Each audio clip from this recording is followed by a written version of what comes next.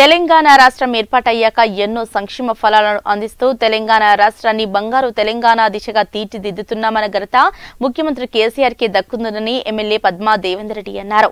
నిజాంపేట మండలంలోని బచ్చురజ్జిపల్లి తిప్పనగుల్ల నార్లాపుల్ గ్రామాలకు సంబంధించి నేడు ఎనిమిది మంది లబ్ధిదారులకు కళ్యాణలక్ష్మి చెక్కులను ఎంపీపీ దేశటి సిద్దరాములు ఆధ్వర్యంలో ఇంటింటికి వెళ్ళి కళ్యాణలక్ష్మి చెక్కులను అందజేశారు. ఈ సందర్భంగా ఎంపీపీ మాట్లాడుతూ మెదక్ ఎమ్మెల్యే పద్మా దేవేందర్ రెడ్డి సహకారంతో మండలంలోని ఎనిమిది మంది లబ్ధిదారులకు కళ్యాణ లక్ష్మి చెక్లను అందచేయడం జరిగిందన్నారు. ఈ కార్యక్రమంలో ఎంపీపీ దేశటి సిద్దిరాములు డిప్యూటీ తహసీల్దార్ గంగప్రసాద్ సర్పంచ్లు అమరసేనారెడ్డి చంద్రవర్ధిని నరసవ్వ ఆర్ఐ యూసుఫ్ విఆర్ఓలు స్వామి సంజీవ్ గ్రామ కార్యదర్శి ప్రశాంత్ గౌడ్ తదితరులు పాల్గొన్నారు.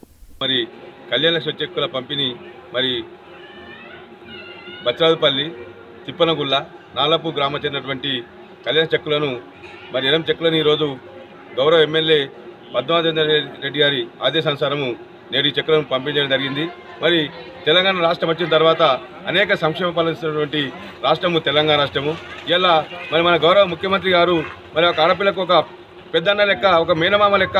మరి వాళ్ళకి ఈరోజు పెళ్ళంటే భారం అనేది కాకుండా ఈరోజు పెళ్ళంటే ఒక పండగలాగా మరి ఒక ఆడపిల్ల ఉన్న వాళ్ళు మరి సంతోషంగా ఈ యొక్క పండుగలను జరుపుకుంటారు. మరి ఒక లక్ష పదహారు రూపాయలు ఇవ్వడం మరి చాలా గర్వకారణము.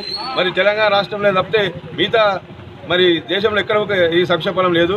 మరి దీనివలన అనేకమైనటువంటి పేద కుటుంబాలు మరి లబ్ధి పొంది మరి ఆనందంతో ఈ రోజు ఉంటారని తెలుస్తున్నాను